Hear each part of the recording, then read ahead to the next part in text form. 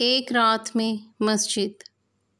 लाहौर शहर के अंदर रंग महल को जाते हुए तारीख़ी दरवाज़े शाह आलम गेट के करीब एक कदीम और तारीख़ी मस्जिद वाक़ है। तासीस पाकिस्तान से कबल यहाँ एक छोटी सी मस्जिद थी जो मुसलमानों और सिखों के दरमियान मुतनाज़ा बनी हुई थी। सिख कहते थे कि इस जगह पर पहले एक गुरुद्वारा होता था। इसलिए हम इस मस्जिद को शहीद करके रहेंगे।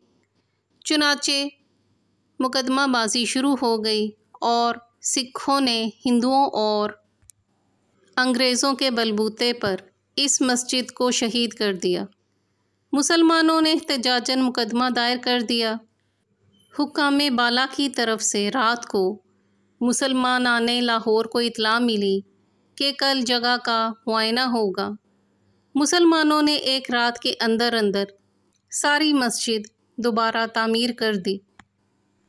इस मस्जिद की तामीर में जिन मुक्तदर हस्तियों ने हिस्सा लिया, उनमें शायर मशरक इलामा मोहम्मद इकबाल और गामा पहलवान पेश पेश थे।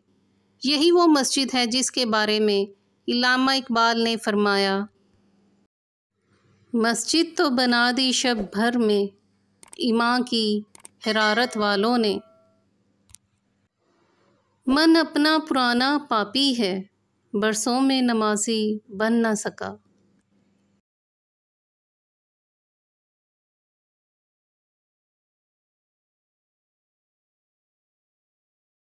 अगर आपको हमारी काविश पसंद आई हो तो वीडियो को लाइक करें, शेयर करें और हमारे YouTube channel book shelf official को सब्सक्राइब करें। शुक्रिया।